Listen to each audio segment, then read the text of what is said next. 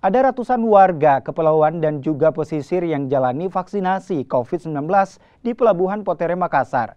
Untuk menghindari kerumunan, pihak Lantamal 6 Makassar membangun dua tenda sebagai lokasi vaksinasi.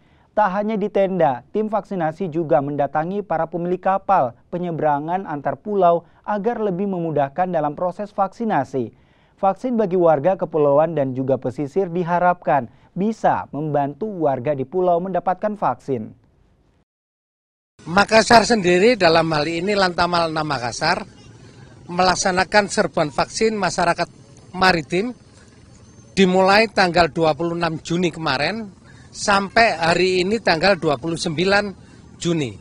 Yang mana titik-titik dilaksanakan serbuan vaksin ini di antaranya adalah di Pelabuhan Soekarno-Hatta. Yang kedua di Pelabuhan Pautere ini, yang ketiga di Kampung Bahari Nusantara yang ada di Untea. Adapun sasaran e, serbuan vaksin ini khususnya masyarakat maritim, di mana di dalamnya ada masyarakat kepulauan, masyarakat pantai, para nelayan, pengguna jasa maritim, baik Injasmar maupun semua kalangan yang berikan berkaitan dengan maritim. Seperti yang kita saat ini berada yaitu di